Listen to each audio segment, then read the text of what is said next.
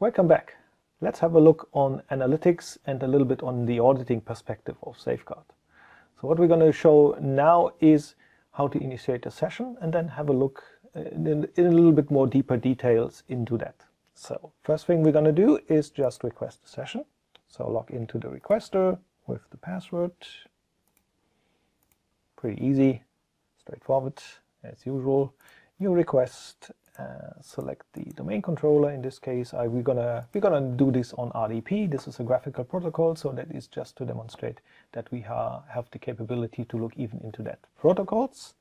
So go click on next, select the uh, account. You in this case you only have one, and submit the request. And here it is. Next thing, as usual, click on that stuff download the RDP file, wait until it's there, and then double click on it, type in the magical SG, and click on OK.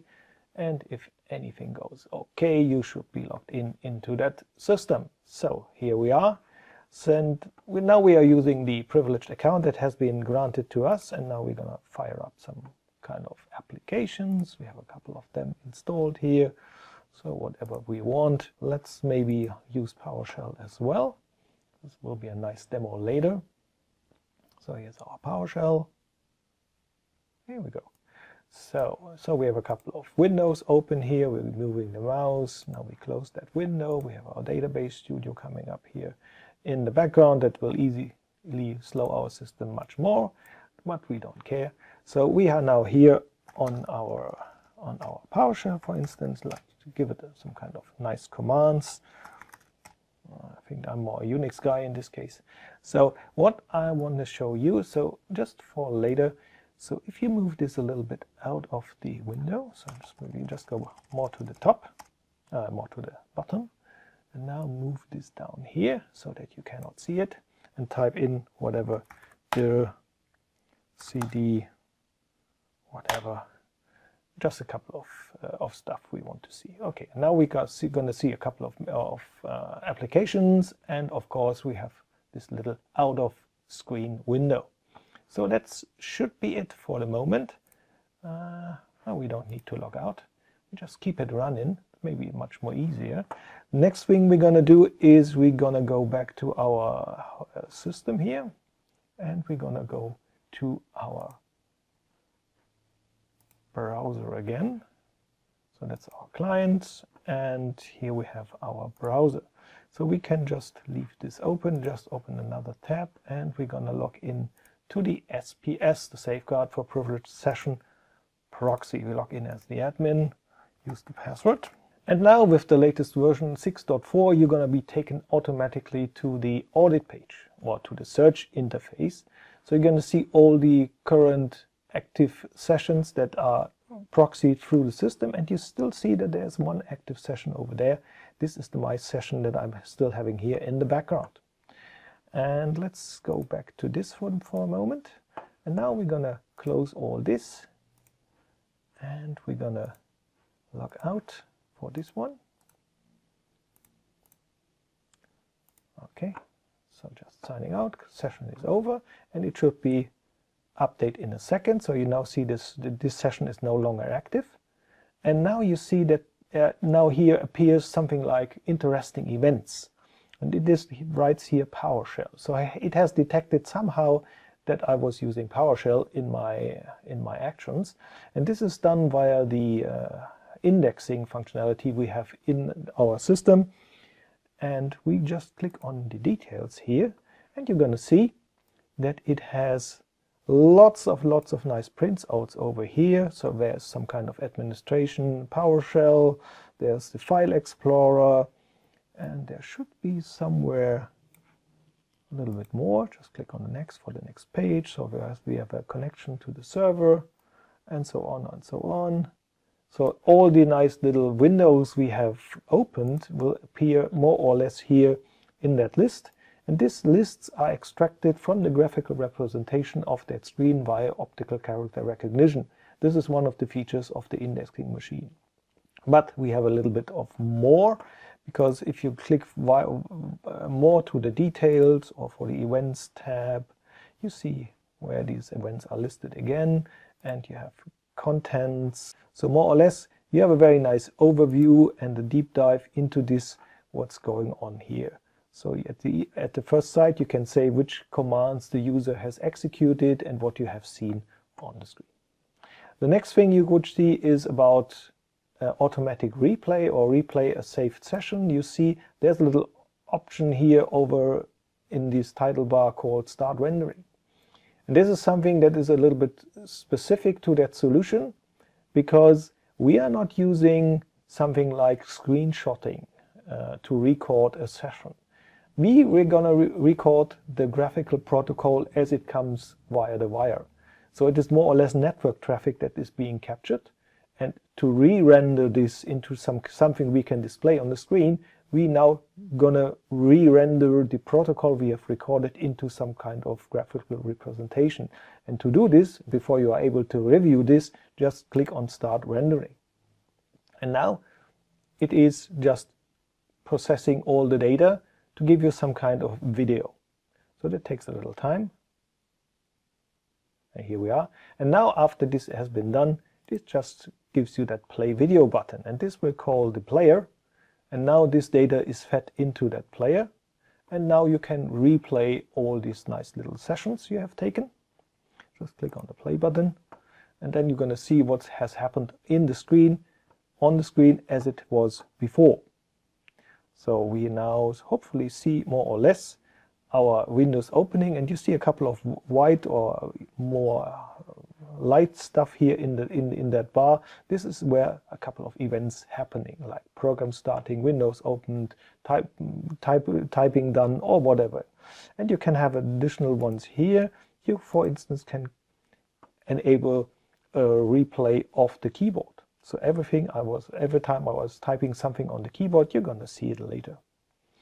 Now let's just move on here a little bit, and you can just jump to the events one by one. And you see there's a couple of typing I have done.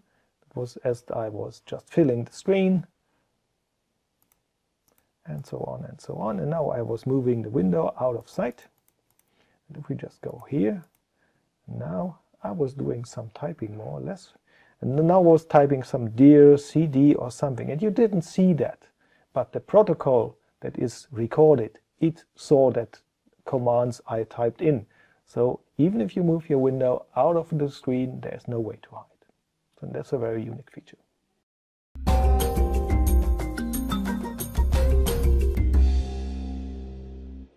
So just coming back to the recording we have just taken or the session we have just viewed and reviewed and uh, taken a deeper look into it. One of the things we failed or I failed was about there was no analytics. So it was nice to see now why there is no analytics configured. So the usual way you now have to track that down, maybe an error, uh, just click on the configuration part of that menu in the SPS and you're going to be taken to the standard configuration task you can execute here. And what the interesting thing here is about RDP control. RDP control hosts all the appropriate sessions of the RDP protocol proxying stuff that is into in that product. So the first thing we're going to have is a look into the connection. The connection is just a list of the proxy rules. And we only have one proxy rule available. This is called safeguard underscore RDP. And if we expand this a little bit, and move down to these various options. There are lots of it.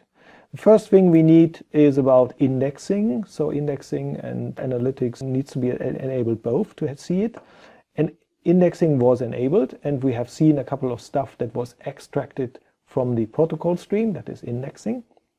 But it was, wasn't anal analyzed, so the analytics part was missing. And analytics usually is enabled to assign something called an analytics policy. And as you see here, I just simply forgot to assign that policy. So let's use the default policy. And before we can change this, or this is changed, just you need to commit that. Okay, here we are.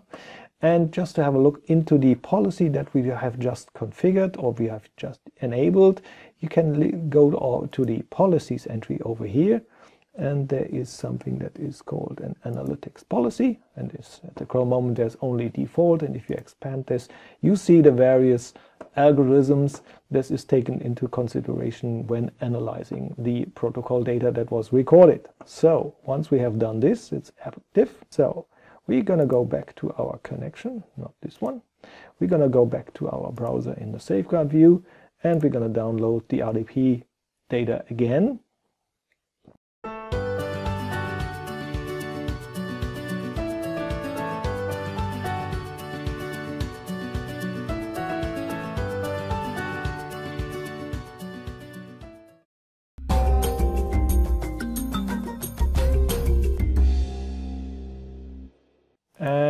now. Okay we need the browser.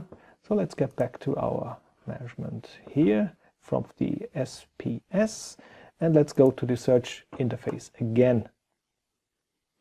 Oh we have done something unusual behavior. And this is something we simply get from the analytics. So now we see that analytics is working and we see we have a risk score of 100%. There's pretty much weird stuff going on and we have done something unbelievable wrong.